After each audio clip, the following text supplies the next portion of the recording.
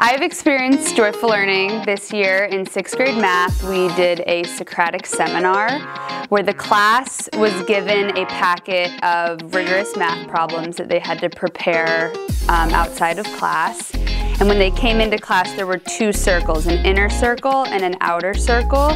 The inner circle was responsible for discussing their problem and responding to each other's questions about the problem so that at the end they arrived at the same answer, while the outer circle was responsible for writing down questions um, and writing down shout outs for the girls that were doing a really great job in the inner circle. So a lot of like adding and multiplying. Mm -hmm. You had to like add basically every problem.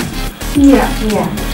And it was weird because um, like if you get one thing wrong on this, it kind of like messes up the whole thing. Yeah. Yeah. yeah. I saw that by the end of the girls' time in the inner circle, they all arrived at the same correct answer. And what made the experience so joyful is seeing all the light bulbs go off in the girls' heads when they were starting to piece together what the correct solution was to the problem. I saw a lot of joy on the girls' faces at the end of the Socratic seminar when the outer circle would give shout outs to the girls in the inner circle, shouting them out for the way they asked questions, the way they built on each other's answers, um, the way that they might have admitted that they were stuck and didn't know what the next step was. After the Socratic seminar, I had the girls fill out a reflection sheet where they wrote about what they thought went really well during the seminar. And something that a lot of the girls said is that they really enjoyed being part of a math class that felt different than their traditional math class.